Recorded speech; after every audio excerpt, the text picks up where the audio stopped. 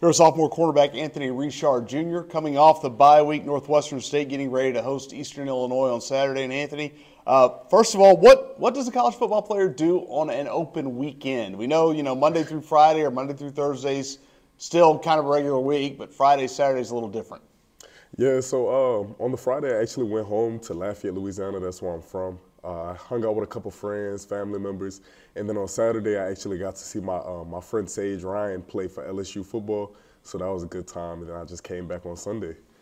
So now you're ready to jump back into it. What did the bye week do for, for you guys as a team? You know, just overall. Uh, I think it got guys' heads on um, let everybody refresh. Um, got us away from each other. Some so much time spent together can sometimes be detrimental to uh, a team, but we all love each other. It's good to be back, um, and yeah. When you hit that reset button, I mean, was there something you know personally you took from this week to, to look back and maybe reset or erase or move forward with? Um, yeah, everything that happens uh, after the games and after our weeks, we try to put it behind. I try to put it behind. Um, mess ups, the good, the bad. I try not to get too high or too low. Just make sure that I move on to the next task at hand. Um, that's pretty much it. You mentioned Sage Ryan. You come from a program that, that has its share of guys who go all over the place to college, play college football. Uh, your college football uh, journey started at Harding, yes, which is a Division two school. Uh, when you hit the transfer portal, was there a, was there a goal in mind to end up a certain place or a certain level? Um, no, sir. No, sir. There was no goal. There was no um, expectations. I really just gave it to God, hoping that He would provide a way, and He did. I ended up in a great spot um, that worked out perfectly for me. So when when you go in the portal at a at a Division two school and the chance to move up, did that intrigue you? I mean, the chance, the opportunity to move up, did that intrigue you? Was that on your mind? Yeah, yeah. I always uh, believed that I was a good enough player to be at D1. Um, I just wasn't out of high school. COVID kind of did some things for me to where I just wasn't provided with that opportunity.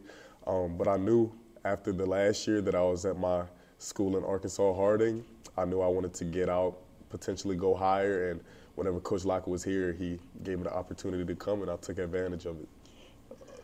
Lafayette Christian has been good to this Northwestern State program. How many guys did you talk to uh, to get a feel for the program? Uh, quite a few. I, I, talked to our previous quarterback, Zach Clement. I talked to Prince Marlboro. Uh, I talked to Dane. I grew up with him. He's like a brother to me. Um, and he, he advised me to come here that a, that a change was in the works and the culture was changing and we were on the right we were on the right um, path to getting this team where it needs to be, and I wanted to be a part of it. So when you go in the portal, is it kind of making a bet on yourself? Definitely, definitely. You that's that's exactly what it is. You have to bet on yourself, because um, if you don't believe in you, who else is going to believe in you? So that's exactly what it was. How does that relate to playing cornerback? That confidence oh, you, you have to you have to be a dog. Coach Coach P, Coach Perry, uh, he talks about it all the time. You have to have that confidence to be out there, that swagger, that mentality that that you're the best, that you deserve to be out on that field. Because we play a lot of man over here. So if you if you don't have the chops, then you're not you're not going to cut it.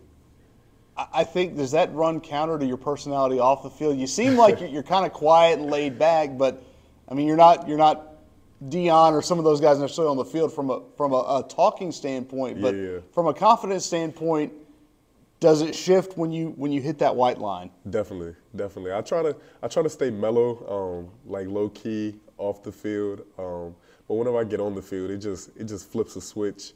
Uh, I don't. It's not like an alter ego, but it's kind of just like that confidence that you have to play with um, to make sure that you're on the top of your game.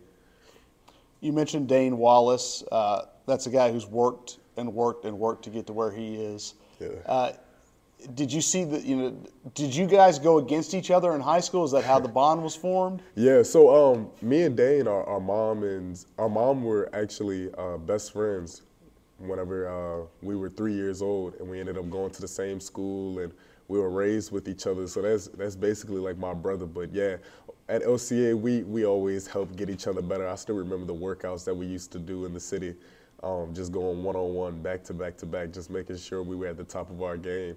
Um, so yeah, he's played a big part into where I am now. Who's faster? Oh, me for sure. me, I'm taking it. In what ways did he make you better? Um, my technique, my technique, Dane is really shifty. He's a um, he's a shorter guy, speed. He uh, he just made sure I was always precise when it came to those first couple steps coming off the ball, and then mentally, uh, he was just always there, um, giving me confidence, uh, speaking life into me, just being being a brother basically. How much did he and some of those other familiar faces help your transition to here? Um, very much, very much. They they did a lot for me. Uh, Dane made sure I was comfortable, checked in on me often. Uh, me and Zach talked pretty often too. He was checking in. Uh, Prince is my cousin, so we we talk pretty often too. They were all just they were all great. Anthony, thanks for your time. Yes, sir. Thank you.